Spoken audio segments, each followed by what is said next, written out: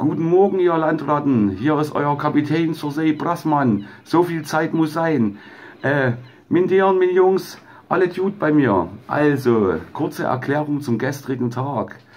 Hm, ich saß hier in meiner bescheidenen Behausung und plötzlich habe ich so Wasserplätschergeräusche gehört und habe gedacht, Mensch, was zum Geier ist denn hier los? Ähm, habe mich mal hochbequemt und meine Wohnung inspiziert und sah dabei, wie Wasser von meinen Wänden ran. Also so schön so runtergelaufen ist. Ja, was ist denn hier los? Geguckt, geguckt, geguckt. Klar, konnte nur von oben kommen.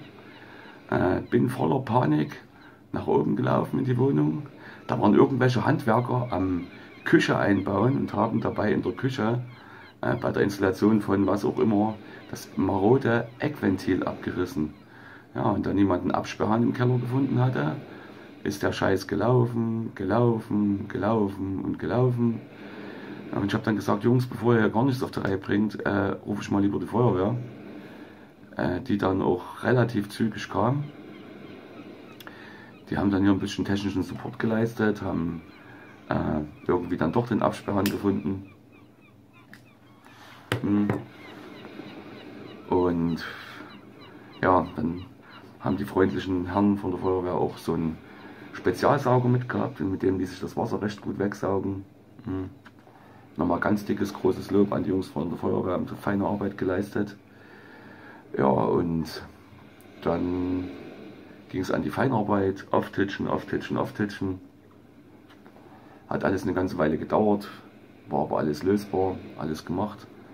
Ähm, eine Freundin von mir hat mir noch dann geholfen, also es war dann relativ zügig äh, gelöst, das Problem, was ich nicht gedacht hätte, dass es so fix ging, also das Wasser da zu entfernen. Es hat auch nur das Wohnzimmer erwischt, der Rest ist alles trocken geblieben. Ja, äh, wir brauchen weder einen Spendenstream noch sonst irgendwas. Ich hatte natürlich auch übelste Panik, weil ich habe mir gedacht, scheiße, fuck, äh, der Handwerker war es nicht, äh, das Haus war es nicht, niemand war es und du wirst auf den Kosten sitzen bleiben.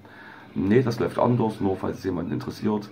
Wenn du eine normale Hausratversicherung hast, bezahlt die das erstmal und nimmt dann eventuelle andere Verursacher in Regress. Also ich habe damit gar kein Problem. Kommt irgendwann nächste Woche der Gutachter, da wird das alles äh, in, also in Augenschein genommen und keine Ahnung, da würde ich das alles angucken.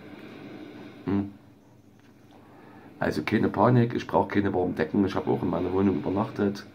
Ähm, wie gesagt, alles ein bisschen gespenstisch und ein bisschen komisch. Das Licht habe ich natürlich jetzt aus dramaturgischen Gründen ausgemacht. Das Licht funktioniert ganz normal. Ähm, hat zwar ein bisschen gepritzelt und gepratzelt, als ich das Licht das erste Mal angemacht habe, weil die Steckdosenleisten alle ziemlich in Fußbodennähe sind. Aber prinzipiell, es geht alles, funktioniert alles und keine Panik.